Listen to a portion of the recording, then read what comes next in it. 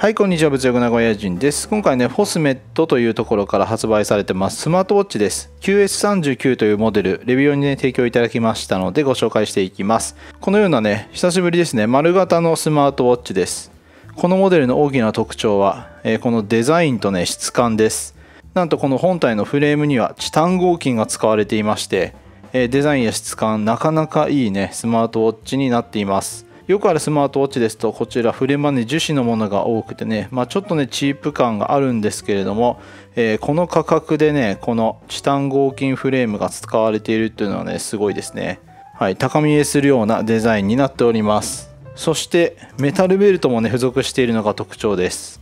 このようにシリコンベルトとともにメタルベルトまだねこれつけてないんですけれども、えこれからつけてみたいと思います。今ねこのように同梱されているシリコンベルトを1ヶ月ぐらいね、え着用して使っている状況です。このようにね非常にデザイン性高いスマートウォッチですけれども機能に関しては GPS が搭載されていなかったり腕上げの時のね画面の点灯が少しね遅かったりえー、効かなかったりすることがあったりね、え、機能面ではあと一歩といったねところもあるスマートウォッチです、え、例えばねこれを、はい、返しますと出なかったり。はいちょっと遅かったりということでねこの辺りぐらいですかね。1ヶ月ぐらいね休日など合間に使っていますけれどもま普通のね通知機能とかこのように時間を知るというね時計の機能としては問題ないと思いますけれどもアクティビティ機能はねちょっと弱めかなと思いました。ただね非常にデザイン性がいいですし金属フレームなのでね、まあ、とてもコスパ高いモデルなのではないでしょうか。ではね詳細見ていきたいと思います。パッケージ内容はこんな感じ。本体とベルトがね2種類ついてます。今装着しているのがシリコンベルトで、えー、こちらですね。クイックリリースタイプになっていますので、えー、簡単にねはいこちら外すことができます。こんな感じですね。うん、そこそこねしっかりと重量があってね少しねずしっとくる感じで重さのあるねスマートウォッチです。また面白いのがねちゃんとメタルバンドもついてるんですよね、えー、このようにメタルバンドついていて金属チタン合金フレームですのでこちらねビジネス等の場でもね、えー、チープに見えずにねいいのではないでしょうか、えー、ちゃんと調整用の工具までついております。そしてユーザーガイドであったりペアリングの方法が記載された、えー、ブックリーフレットがあります。あとは充電器です。充電はこの接点端子を合わせるようにマグネットでね、はい、このようにペチョッとね、くっついて、えー、このように置いてね、充電するというタイプになっています。えー、ではね、メタルバンドちょっと調整して取り付けてみたいと思います。ちなみにシリコンバンドを取り付けますとこんな感じです。えここにね、ループ2つありまして、えしっかりとね、ホールドする感じです。えー、こんな感じですね。どうでしょうか？プラスチックのねスマートウォッチよりだいぶね金属本体になることでね質感高いですよね。このね価格とは思えないぐらいのクオリティになっているなと思います。そしてはいこのように手前に向けますとしっかりと点灯する機能もついてますけれどもご覧のようにね少し遅いのがねお分かりいただけますか？暗くなってからはいはいっていう感じですね。うん。今までね結構スペック高いねもの使ってきたのでこのね0コンマ何秒ぐらいの速度感がね最初慣れませんでしたけれどもまあ十分ね見れるぐらいな感覚かなと思います。たまにねこう弱いとねつかなかったりしますけれども今大丈夫ですね、えー、こんな感じです。ではメタルバンドに交換してみます。このようにメタルベルトを取り付けました。今ね2コマ抜きました。このベルトはねこの本体のチタン合金と一緒ではなくねステンレススチールとなっています。このようにバックルの部分はね非常に簡素的ですね。このような板のタイプのねバックルになってましてパチッという感じで。さすがにねこの辺りの長さのね調整機構っていうのはありません。このねクラスプの部分はね非常に短いですねここは。ただね中の板はね少し長さありますのでね、え腕に当たる感じです。カチッと。はい。そこまでねチープ感はないですね、えー、若干ねこう緩いというかねたわみますのでどっちかというとジャラジャラタイプのねベルトですね、えー、こんな感じです、えー、ではねつけてみましょう。だいぶね緩くつける感じで2コマ抜きました。もう1コマ抜くとねよりフィット感高まりますけれどもちょっとね夏暑いですし少し緩くねラフにつける感じの装着感です、えー、こんな感じです。どうでしょうか。ブラックですね。このようにステンレスブラックといった感じで。なかなかいいんじゃない？これ現在ね価格が6350円なんですけどこのねシリコンベルトとこのメタルベルトがね両方ついてこの価格なかなか良くないですかこれ。はいこのように。結構ね金属タイプのスマートウォッチってね少ないんですよね。まあスマートウォッチって結構ねアクティビティとか運動するのでシリコンタイプが多いんですけれども、えー、普段ね出かける時に使うにはこういったシリコンよりもねメタルバンドの、ね、方がね合うシーンもありますので、まあ、こうやってさっと変えてね使えるのがいいんじゃないでしょうか。ちなみにこちらのねメタルバンドも、えー、取り外し簡単なタイプになってますので、えー、さっとねこのシリコンベルトとね交換できるっていうのはいいですね。ではもう少し深掘りしていきましょう。まずね画面としてはこちら1.32インチの画面になってます。非常に見やすいですね。このようにくっきりと映っています。400×400 のね解像度で、まあ、若干ねドットは目立ちますけれども発色自体はねこのようにとても綺麗になっているかなと思います。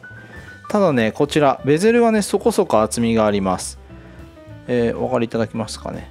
はい。このね黒い部分周囲の黒い部分がベゼルになっていましてこの部分はね液晶ではありません。ですのでこのフェイスデザインを変えるときにね、はい、他のデザインに変えたりするんですけれども、えー、分かりやすいのないですかね。こうすると、はい、こうしてもですね、はい、このね周囲の黒い部分はね、えー、残ったままになります。これね Amazon の販売ページはねフェイクえー、フェイクというよりね、えー、画像はイメージですといった感じですね、えー、こんな感じで、えとてもね周囲まで画面があるように見えてねベゼルがとてもね薄く見えますけれども、え実際はねもっと厚いです。この辺りはねちゃんと製品の情報というか写真をね載っけていただきたいなと思いますけれども、え一見ねこう画面全体にねえー、とてもね薄いベゼル薄型ベゼルのねかっこいい画面に見えますけれども。ま雰囲気似てますけれどもね若干ねベゼルはもう少し厚いので、はい、こういった感じの割合になります。まあこれはね中華スマートウォッチあるあるですのでね皆さんご注意ください。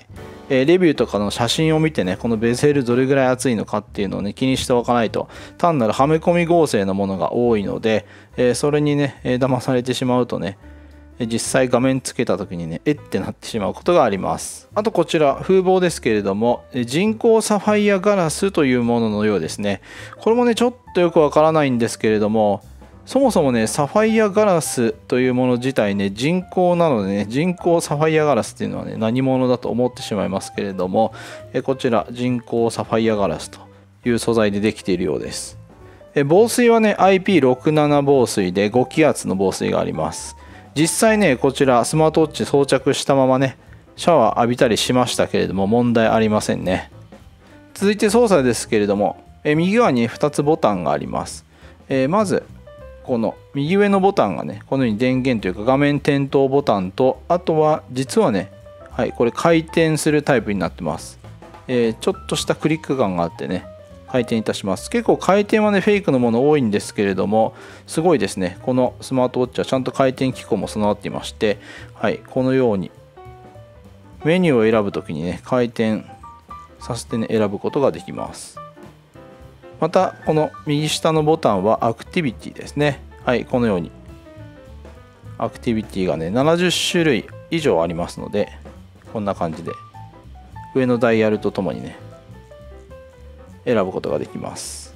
えこのね2つで操作するという感じ。もちろんあとはねタッチパネルあります。では腕に装着した状態でねメニュー画面と見ていきましょう。まずねこちら。はいということで、えこのように、ね、腕上げ点灯可能になっていますそして上からスワイプでメニューですねこのように懐中電灯モードだったりナイトモードあとね電話の受信発信が可能ですねそして明るさこちらです。今ね、MAX の状態ですね。えー、このね、MAX でね、外出た時にギリギリ見えるかなっていうぐらいですね。全く見えないってことはないのでね、まあ、この辺りはね、え、常に MAX でも問題ないかなと思います。自動調整等はありません、え、そして、えこちらが設定ですね、えこのように。はい、えダイヤルということで今ねダウンロードしたものも含まれてますけれども、えこんな感じでダイヤル切り替えすることができます。後ほどねアプリで、えこんな種類あるよというのをお見せいたします、えそしてはい、え、テーマですね、え、こちらね先ほどの真ん中からも切り替えれます。ここですね、え、これでねメニューのインターフェース切り替えることができます。リストタイプなのかこういったねアプローチみたいなタイプなのか、えこのねダイヤルタイプなのかっていうので切り替えることができます、えメニューだと、えこのようにリストタイプだとですねこのような感じになりますね。そして、えこのタイプですとこんな感じです。これ私ね、あんま好きじゃないんですよね。これどこに何があるかね、え、アイコンでね、パッと覚えていればいいんですけれども。はい、これ特にね、このアイコンの位置を変えたりすることはできないようですね。こんな感じと、あとは、はい、このようにダイヤルタイプですね。えー、これは同様にこんな感じでくるくると回すことができます。まあ、リストタイプがね、私は一番分かりやすいかなと思います。文字もありますので。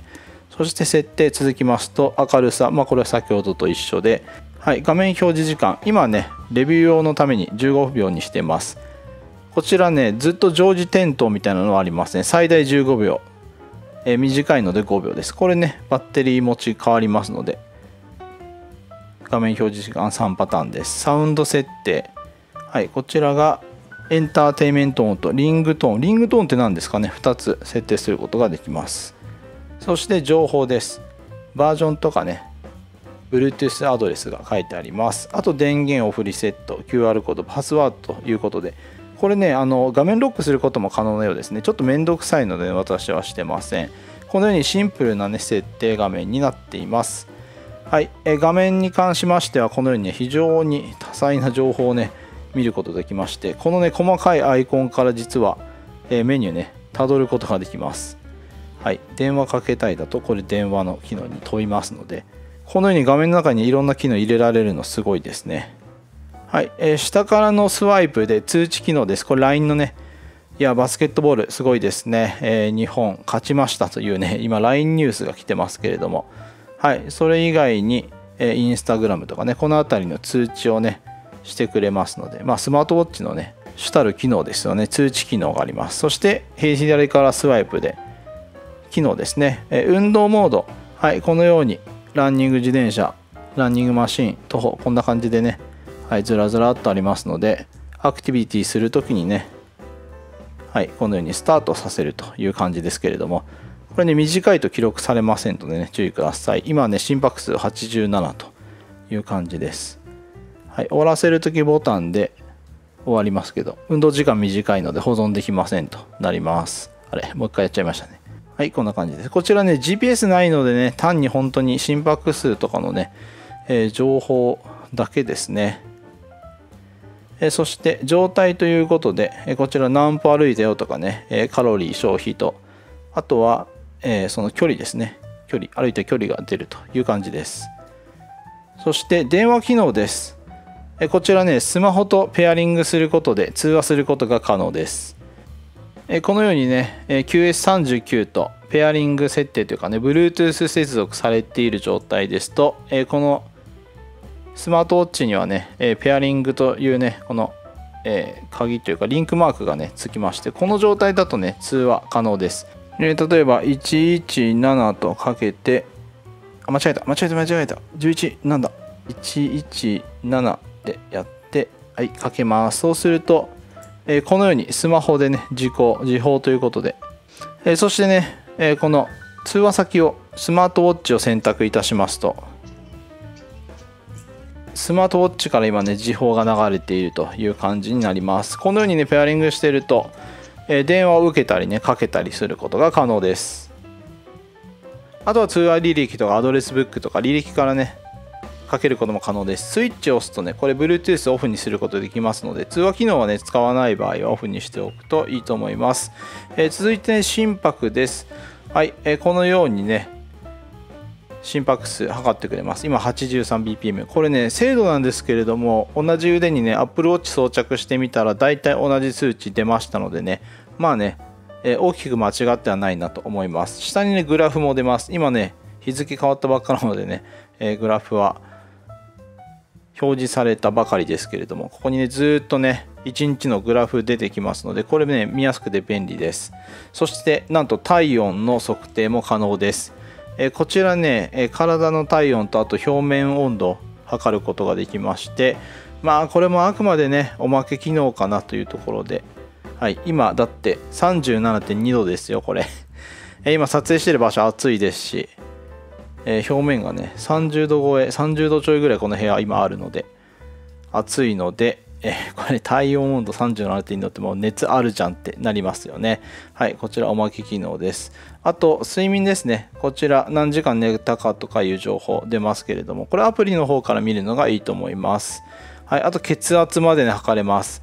まあ、これもね、おまけ機能なのかなと思いますけれども、はい、こんな感じで今ね、血圧測定をしております。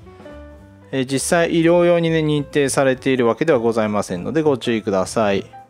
はいしばらく待ちますと116の79という感じです。多分ねもっと高いと思います。はい、えー、そして血中酸素濃度ですね。はい、今97と出てましたけれどもこちらもねはい 98%99% ということで正常です。これ実際ね下がったことがないので分かりませんけれども。そして天気です。こちらスマホとペアリングしているとねこのように天気。月火水。3日間分ですね先の天気。本日と3日間分見ること可能です。音楽のコントロールです。えあとメッセージ。こちらはね先ほど LINE 通知とかインスタ通知とかです。そしてはい、アラームですね。そして呼吸率までね見ることできます、えー、1分間にどれぐらい呼吸をしているかというね指標ですね。はい、えー、15ppm ということで正常です、えー、呼吸をするとかあとねなんかゲームがあるんですよ。これ面白い。鳥のゲーム、えー、スタート。はいあのこう押すと上に上がって間を通ってできるだけ長くねいくというゲームです。はい、そしてあとはこれ出るか。デジタル下流時あこれ並び替えるやつですね。これ1から、えー、8まで。順番にこのようにスライドさせて並び替えるというゲームです。それが何秒でできるかというのを競うものだと思います。はい、えー、なんと49秒かかってしまいました。こんな感じのゲームですね。あと、音声アシスタントとかね、あります。そして、機能、ストップウォッチ、タイマー、携帯を探す懐中電灯、計算機、電卓まであります。はい、100×6 は、はい、600。こんな感じです。ちょっとした計算ね、スマホで使うのもいいですけど、時計でできるのいいですね。えー、このような、ね、サブ機能あります。あとは最初に紹介した設定以上ですね。こちらが左からのメニューになります。そして右からのメニューですと、このように心拍数に、これが血圧、そして酸素、睡眠、音楽再生、天気、ゲーム、こんな感じでショートカットですね。ダッシュボード見ることが可能です。えー、基本的な機能はこのような感じになっています。ではこれらの情報がどうやってアプリの画面で見れるのかね見ていきたいと思います。では接続しているアプリ画面見ていきましょう。こちらねグローリーフィットというアプリになります、えー、ホームページこんな感じで。今ね日付ちょうど変わっちゃったのでね真っ白状態でね、えー、ちょっと寂しい画面になりますけれども、えー、このようにねダッシュボードで一覧見ることができます、えステップ数のとこにはね歩数です。はい例えば、え昨日こんな感じでねはい、昼前にちょっと到着して活動というか一日過ごしましたけれども、はいえー、歩行どのタイミングだったと結構細かいですね。このように。ランニング。ランニングしてないんですけど、ね、ちょっと早歩きしたのかな、えー、こんな感じですね。今までのね情報の中でこのようにね歩行している時間を細かく区切って、ね、見せてくれるっていうのは今までないですね。なんとカロリーまでね表示されているという感じです。そして心拍数ですけれども昨日見ましょうか。このように設定によってね常時記録しておきますとずっとね測っててくれます。これ15分ごとかな？10分ごとかな？はいそのぐらいの間隔だと思いますけれども、えー、こんな感じで測ってくれますと安静時86%どれぐらいのね心拍の割合かみたいなところとか。あと最小心拍65最大117とかね。こんな感じで運動してない時ねこのような感じっていうのが分かりますね。ちょっと感覚的にね少し高い気がしますね。65最小ということですか。はい他の日だとね最小が76でね平均97とかね。97って結構ですよねとかね思ってるので、まあ、この辺りねもう少し様子見がいるかなと思います。もっとね平均って心拍数低いのかなと思ったんですけれども平均でね100弱という感じなのでこの精度はねもう少し検証必要ですね。あとね睡眠これつけたままあまり寝てないんですけれどもはい例えばこの日ですね8月194時間3分寝ましたということでこれがね浅い睡眠ですね、えー、熟睡がないあ次の日ね9時間。これね寝てないけど寝たことになってるっていうねこの1時とかね2時とか多分ねまだ寝てないんですけど寝てることになってたりしますがだいたい動き合ってるかな。はいこの深いのが下ですね。熟睡が全然できてませんね。この日に限った熟睡なしですね。0分ということで。こういった睡眠がね詳細に知れるのはいいですね。就寝時間が遅い睡眠不足と怒られております。あと血圧です、まあ、さっき測ったのが見えてます。そして血中酸素記録も実は 血中酸素記録も常時測ってくれるという機能がありますね。血圧はね常時ではなく測ったタイミングだけです。あと体温もこのように測ってくれます。平均36.1最高と最定がねこのように表示されてます。まあ1日の中でもねこのように体温変わりますので、まあ、これ腕で測る体温ですのでねあくまでまあ目安というかね結構ブレるんじゃないかなと思ってます。ダッシュボードは以上ですね。これね今全部表示してますけれども表示したいものだけ表示することも可能です。続いて運動機能です。スマートウォッチからねスタートすることもできますけれどもこのようにアプリからも可能です。これねアプリからだとね GPS あるので情報をね記録してくれるのかなと思ったんですけれどもなんとこの例えばねサイクリングの記録みたいなのを見てみますと、えー、GPS のね情報ないんですよ。これどこ走ったっていうのね見してくれたらいいんですけど何もありません。はい、最大心拍137平均171みたいな、ね、このような情報とあとは図表で心拍数の推移。こんな感じしか見れません。なので記録でねどこ行ったって見れるといいんですけど見れないっていうのが残念ですね。また時計に出てくるアクティビティのね種類がサイクリング出てこなかったのでああこれないのかなと思ったら実はですねこんだけある中のね、えー、ないものスマートウォッチに表示されないものは、えー、例えばヨガを表示したいとした場合これね上にね持ってこないといけないみたいです。はい、えー、このね上の4つがスマートウォッチで表示されるというね仕組みになっていてこれがねなかなか分かりにくかったです。なので今このアクティビティ押すとほらヨガがね 出てきてますよね。上から2番目に、えー、この並びとね一致しているという感じです。はい、えー、そしてデバイス。こちらはね細かい設定です。通話の設定であったり、えー、ダイヤルの設定。こちらがね画面ですね、え、このように様々な種類があります。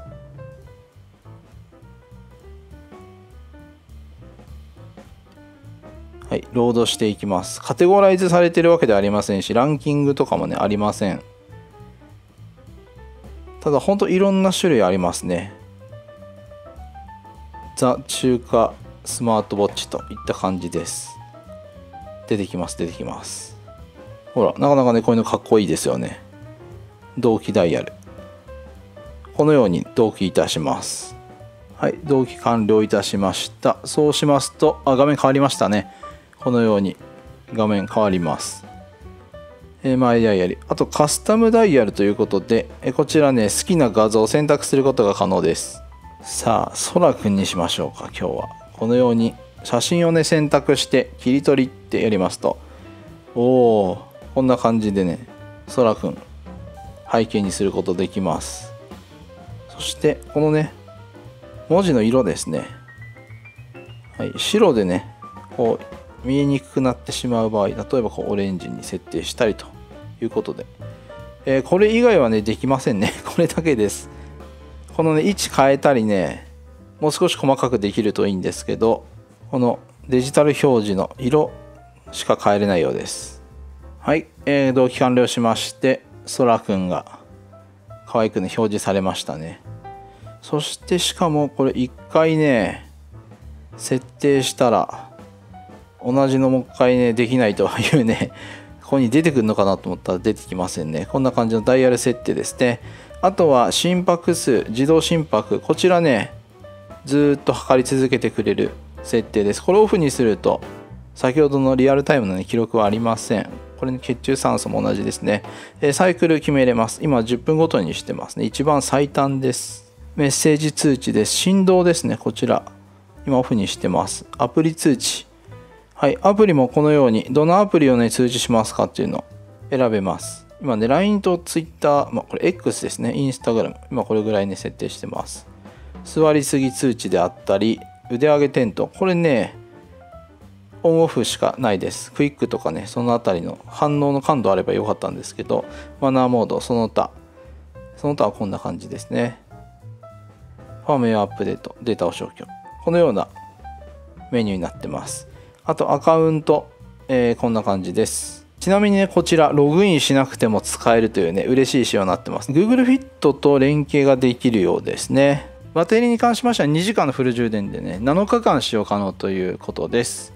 実際私ね測定機能も常時オンフルオンにした状態で5日間はね、えー、持つ感じですね。5日間以上持つ感じかなというところでちょっとね連続で5日間使ってはいないので、えー、バッテリーの減りの感覚からしますと1日ね、20%弱ぐらいかなと思いますのでまあね、え先ほどの血中酸素とかをリアルタイムじゃなくてもいいわという方はねもう少しバッテリー伸びると思いますのでまあ大体1週間と考えていただければ十分かなと思います。ということでいかがでしょうか、えー、こちらねバンドも2つついてましてペアリングすればね通話も可能でそして基本的なセンサープラスね体温とか血圧とかねなかなか日本で出していいのかという機能がねついているスマートウォッチです。現在ね Amazon で6350円と。かなり値段もねお買い得な価格になってますので、えー、GPS がなかったりちょっと腕上げの時の点灯が遅いかなというところとベゼルがねそこそこ厚みがあります、まあ、これもねデザインの一つと思えばね、えー、十分かっこいいねデザインかなと思いますしこのようにチタン合金の本体とステンレススチールでなかなかツールウォッチ感がね出てねいいですね。このような感じのスマートウォッチ。フォスメットの QS39 というスマートウォッチご紹介いたしました。いつも樹脂のタイプのとは違ったちょっとね高見えするスマートウォッチご紹介いたしました。気になった方ねチェックしてみてください。Amazon でね売ってます、えー、今回もご視聴いただきありがとうございました。